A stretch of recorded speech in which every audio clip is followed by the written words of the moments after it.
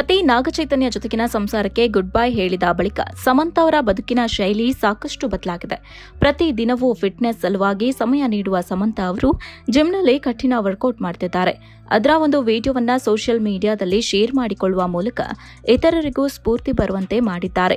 ಈ ವಿಡಿಯೋಗೆ ಸಮಂತ ಕ್ಯಾಪ್ಷನ್ ನೀಡಿರುವುದು ಗಮನ ಸೆಳೆತಾ ಇದೆ. ಸ್ಟ್ರಾಂಗ್ ಬಾಡಿ ಸ್ಟ್ರಾಂಗ್ ಮನಸ್ಸು ಎಂದು ಬರೆದುಕೊಂಡಿರುವ ಅವರು ತಮ್ಮ ಉದ್ದೇಶ ಏನು ಎಂಬುದನ್ನು ಕೂಡ ತಿಳಿಸಿದ್ದಾರೆ. ಅವರ ಅಭಿಮಾನಿಗಳ ವಲಯದಲ್ಲಿ ಈ ವಿಡಿಯೋ ಸಖತ್ ವೈರಲ್ ಆಗ್ತಾ ಇದೆ. ಆ ವಿಡಿಯೋ ಹೇಗಿದೆ ನೀವು ನೋಡ್ಕೊಂಡ್ ಬನ್ನಿ.